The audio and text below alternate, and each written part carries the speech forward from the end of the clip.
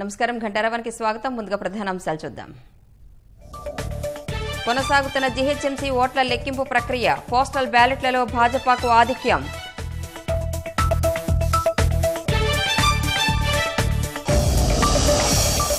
Majority డివిజన్లలో రెండో రౌండ్లలోనే ఫలితం. మధ్యాహ్నం మూడు వరకు బల్దియా పీఠంపై స్పష్టత.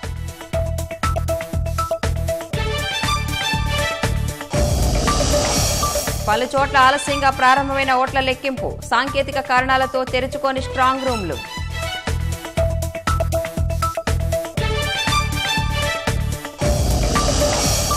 తొలి ఫలితం మెహదీపట్నం నుంచి వచ్చే అవకాశం. పోలైన ఓట్లు పదకొండు వేల ఎనిమిది వందల పద్దెనిమిది ఉండటంతో త్వరగా స్పష్టత.